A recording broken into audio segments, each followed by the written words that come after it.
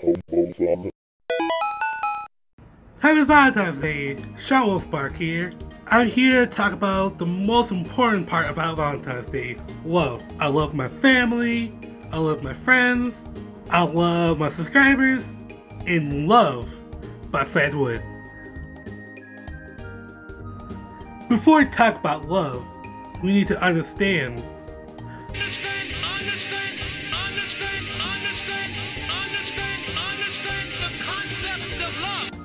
and that's my only joke. So, anyways, love is a retro style platformer.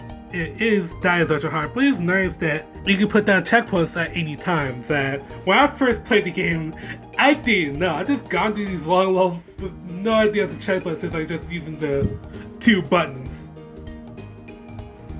But when I discovered that, that's nice. It also gives a respawn button that kill you if you need that. Know, that I kind of press like, eh, I say on my controller. Well, like the 8-bit style is kind of overdone, but it pops out with an interesting use of black and white and the radiant colors for the levels. And the character and the character is really surprisingly dynamic. Like the dude look like he's actually running. He does flip and stuff. Like, it's surprisingly cute. He he kind of look like the fire, the fire um symbol for kind of look like the Japanese fire sign. Love is great if you're looking for a looking for a fun challenge, especially if it's type of Mario Maker's 2 BS. I think the level looked really cool. It it looked like a death factory with a dragon course in the middle of it. It's a short game. The main mode goes go through the 16 levels with 100 lives. It'd be great. It's great about how how how fast you did, how many checkpoints you used, etc. etc. In this easy mode in the same level, but you got unlimited lives with no grade. In this yellow mode. That's yellow mode.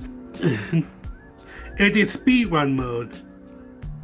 It's all about the times. Lives don't matter. In this weird though, there's there's six other levels that are super hard, and I don't remember this. I think they added it later. If you if they're looking for a great challenge, it's really hard not to recommend, especially when this game's three to five bucks. And the music is really really great. Most most of just like techno that really really gets you in the mood to go through these obstacles. But this is one really cool my favorite track called Kid Side B, or I think it's just called Kid. I can listen for hours, and it, it's the trailing music.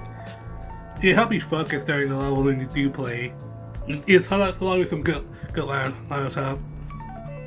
All in all, if you need a go you need a go platformer with a fan challenge that respects your time with modern conveniences, this is the place to go. And if you want more from Love, there's Kuso, the sequel to this game. And they often bundle get super cheap. It, Love and Kuso came to the Switch last year. And Love and Kuso are a great deal together. And if you don't mind, I got a date.